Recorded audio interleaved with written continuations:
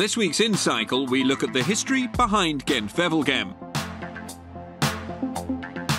You have uh, gravel, semi-gravel zones, which gives spectacle, combined with the history, this great history of the plug streets. We go in search of a Belgian cycling superfan.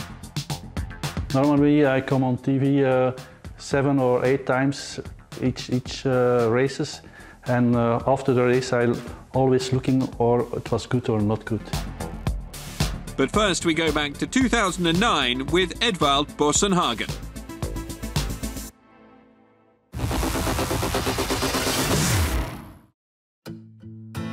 A familiar face in the pro peloton for over a decade, Edvald Boasson-Hagen has some big results on his palmares. But as his first and so far only cobbled classic victory, his triumph at the 2009 Gent Wevelgem is one that remains especially significant to the Norwegian. That was uh, really early in my career, uh, second year as a pro. So I was riding there actually to help my team and uh, try to do my job as good as possible. It was a really strong team, but uh, I was young and uh, just want to race and uh, take my opportunities. There was uh, a lot of wind and uh, you had to be in the front to be ready and that's what they said in the bus as well in the morning. Luckily I managed to be in the first echelons and took it from there.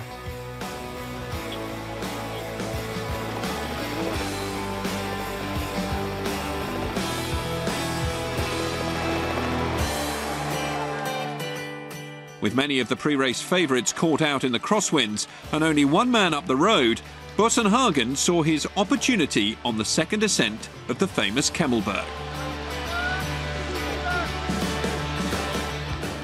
It's uh, really steep and of course it's on cobbles and that day it was also raining so it made it slippery so you need to sit down and be powerful in your legs then uh, just pedal hard. I felt obviously quite strong that day when I was attacking on Kemmelberg and uh, could uh, make it across to him. I was just racing in my instinct.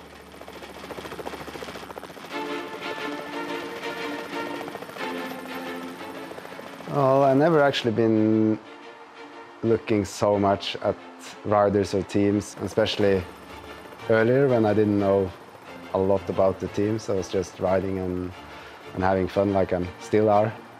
I respect every riders, but I didn't really pay attention to who they are most of the times, and I just raced and tried to be at the front and not think about what they achieved. A lot of races also lost because they tried to race and save too much, so I was happy that he was also committed and want to ride a lot. As Boasson-Hagen ploughed on up the road, teammates Marcus Burghardt and George Hincapie were proving invaluable in the chasing group.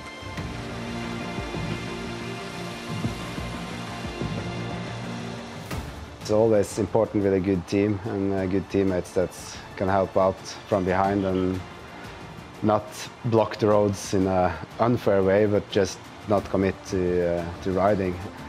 It's a nice feeling when you ride together as a team. In general, it's, it's uh, something special. It feels even better when you have, if you win yourself or somebody else on the team win. But if you have committed and ridden well together as a team, then it makes the victory even bigger.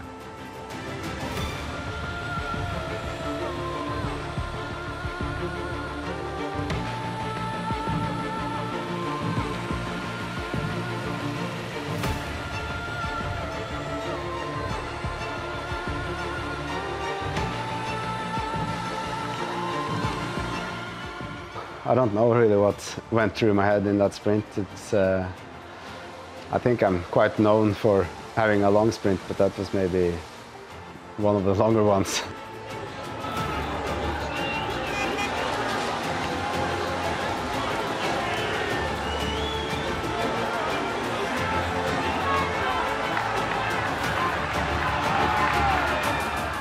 Maybe it's not the perfect sprint in tactic-wise, but when you win, it doesn't matter how, how you win, if it's a nice way to win. Hva, hva, hva skjedde de siste kilometerne når, du- når du begynte å ta igjen på Kuschynski? I was just crazy happy and yeah, I think my arms went a bit uh, everywhere in that celebration. But uh, well, I think it's just good to show how happy you are and not think about any how you're gonna look on camera or whatever. It's it's nice to celebrate. The winner of today uh, from uh, Columbia, op het hoogste schavotje vandaag uh, met uw warme waardering. It's quite a long time ago now, but I'm still mentioned a lot, and uh, it's nice to be one of those riders. And I hope I can be able to show what I can in uh, the years to come, and hopefully I can come back and, uh, do some great results in Ghent again, and also, of course, all the other classics. het einde van de inspanning. Dames en heren, nummer 1 hier vandaag, Boasson Hagen zijn eerste over.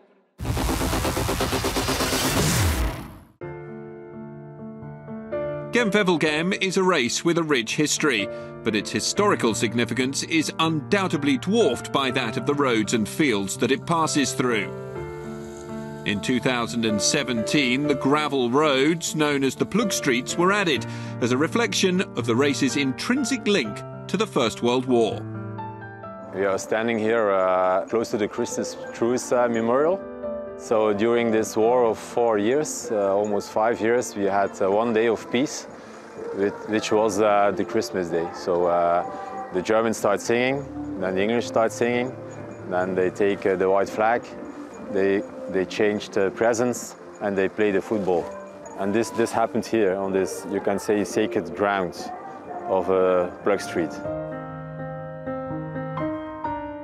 The name Plug Street is also derived from the city, Ploegsteert, which is also the native city of our Belgian champion VDB, Frank uh, Vandenbroucke. And now it was so obvious that if you have these semi, semi gravel roads, that uh, we could name it uh, Plug Street as a, uh, as a memorial, as a, as a, as a contribution to uh, the identity of, of the race. It's uh, Gent-Wevelgem in Flanders Fields here in this region, in this neighborhood with the plug streets here, the, the race matches completely with the identity.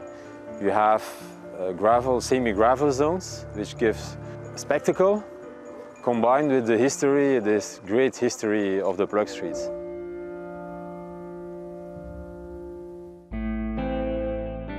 We have uh, integrated three plug streets.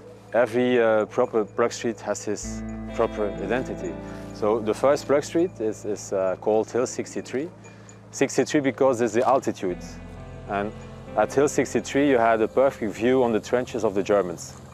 So that's why it's called Hill 63. That's the first plug street. Then you have the second one, is Christmas Truce, because the start of the second one is close to, it's, it's at, at uh, 10, 20 meters of the, of the memorial of Christmas Truce. Then you pass the memorial for the missing. There's about 12,000 soldiers who are missed, who fought in the hills, we, the cobbled hills of Kemmel and this neighborhood. And then in the forest we have the third plug street, and this is named the catacombs because under the hill 63 there are catacombs made by the Anzac, so Australia and New Zealand.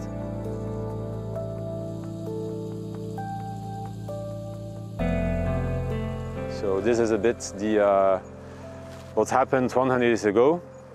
And with our race, we are happy that we can be a kind of ambassador for Flanders Fields. So uh, we never forgot what happened here uh, 100 years ago.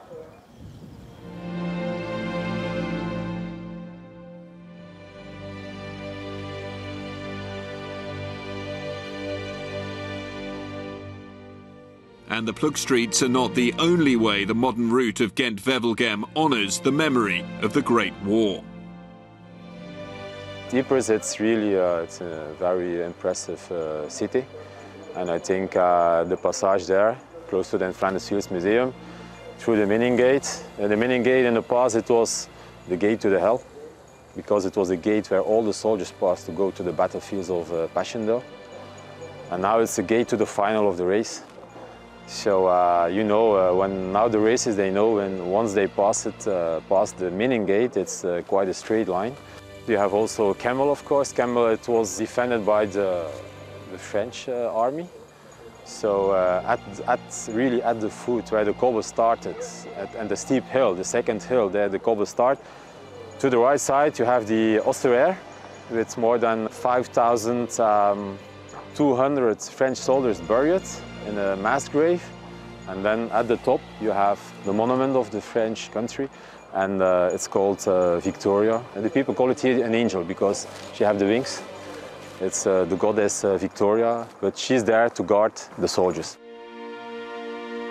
For us it's really uh, amazing that we can be the ambassador besides the race, also ambassador of the World War I. The terrible things happened here 100 years ago, but yeah, we can never forget this show. It's really um, happy is maybe not the right word, but we are quite uh, proud that we can help.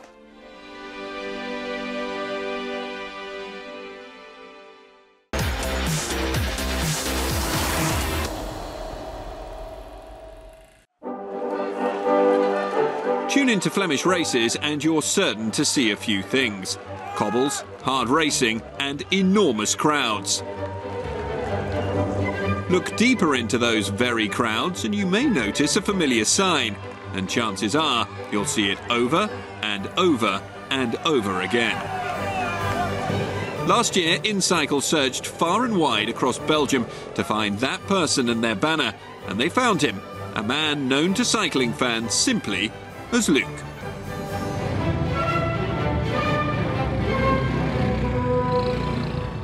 We are in uh, we are in uh, in Flanders, in uh, Oost Vlaanderen, not so far from the Muur of Geraardsbergen, the Bosberg. Everybody in, in Europe knows the Tour of Flanders and especially also the, the Muur. Till 2011 it was about 15 kilometers of the end of uh, the race.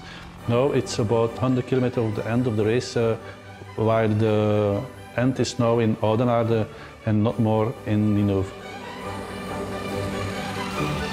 In Geraardsbergen, cycling is the most important sport of, of all.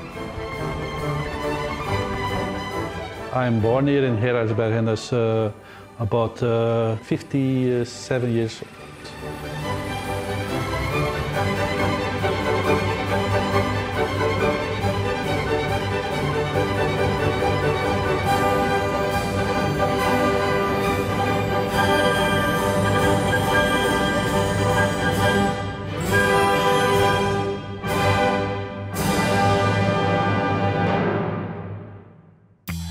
The Luke sign has been visible during some of the most iconic moments of the Tour of Flanders over the last 16 editions.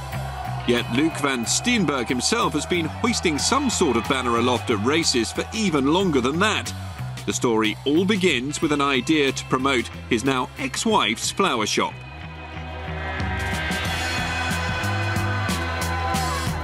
In 97, the championship of uh, Belgian cyclocross was here in Geraardsbergen. And we have a little shop here in uh, and was the, the moment for doing that. We have uh, make a banner from uh, his shop and yes, after, after this day uh, a lot of people uh, came to the, to the shop. It was very good for, for the, the flowers.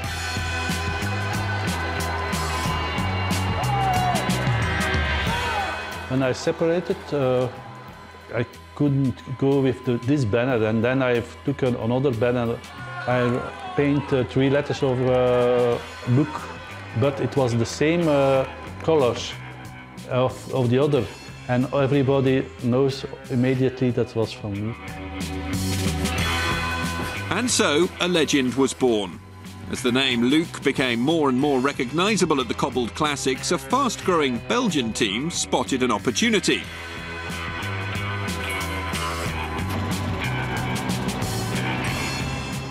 Ten years later, uh, the group of Wanty Group Gobert is coming from me, uh, asking, uh, yes, you, do you want to do something for us, uh, for the riders and uh, to support for the riders and yes, now I'm a great support of uh, this team.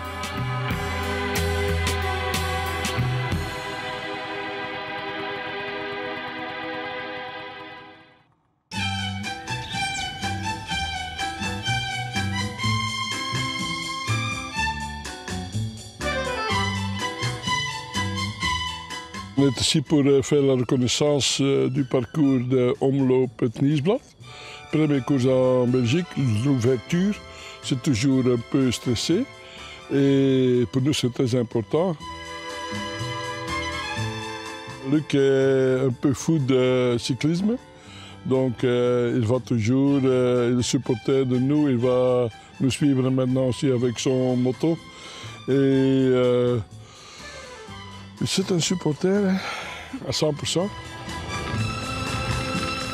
For the team this year known as Circus Wanty Gobert, having such a dedicated fan has its upsides.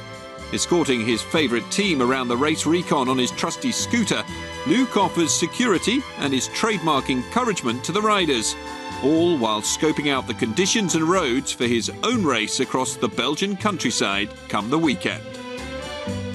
I uh, know all the little streets here in the area and uh, yes, Google Maps and also the road book is very important. More people go to the races with the cars and I do it with my scooter. It's the only way to go from place A to B. It's also important that the days before it's don't rain too much, otherwise the paths are not uh, with, good with, uh, for the scooter.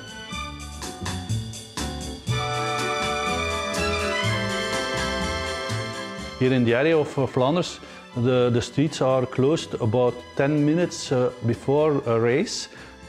To go to the Paris-Roubaix, we see the races uh, five times, maybe, and in Tour de Flanders you can see him uh, 10, 15 times uh, when you have luck. With so many stops and such a distinctive sign, Luke's presence around a race isn't something that goes unnoticed by the riders. He's everywhere in the in the parcours because he's also from around, so he knows the roads. He knows where to cut the roads. Uh, sometimes you can see him like 10 times in one race, whereas uh, normal people can maybe watch the riders three times or something.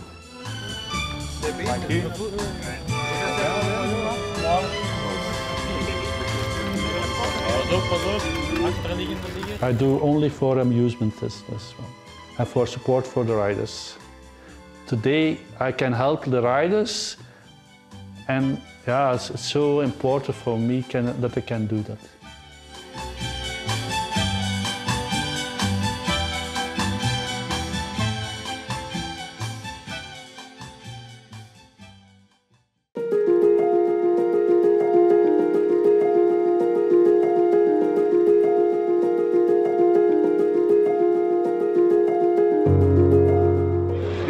My first school day today, uh, the first race. Uh, this year, uh, yes, I'm nervous. Not nervous like the, the riders.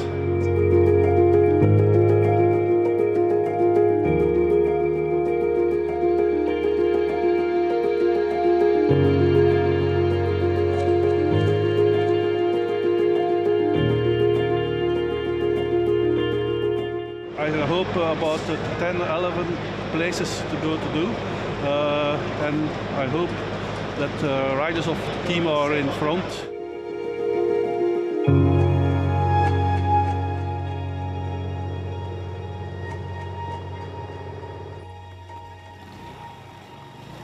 For the third stop of the day, it's time for Luke to hit the cobbles and the first chance to grace the world's TV screens.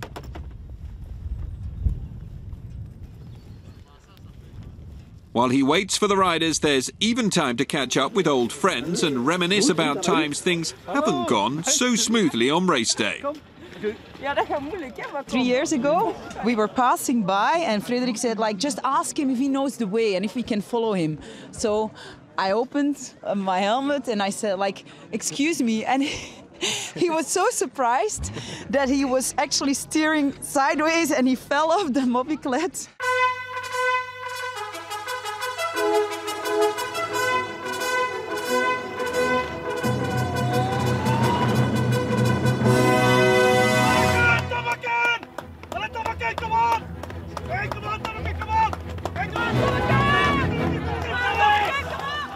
Normally I come on TV uh, seven or eight times each, each uh, races and uh, after the race I always looking or it was good or not good. Each time I come on television my, uh, yes, my, my phone have a, have a message. With the passing of the peloton, it's time for Luke to start his mad dash across the Flemish countryside.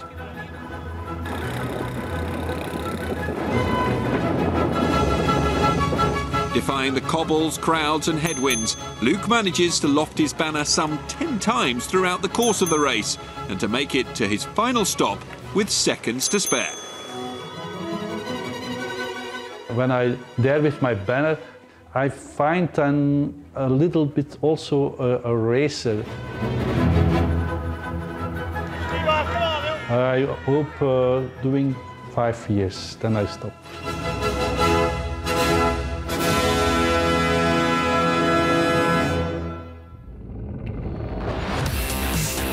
That's it for this edition, but do join us next time. Until then, keep up to date on social media.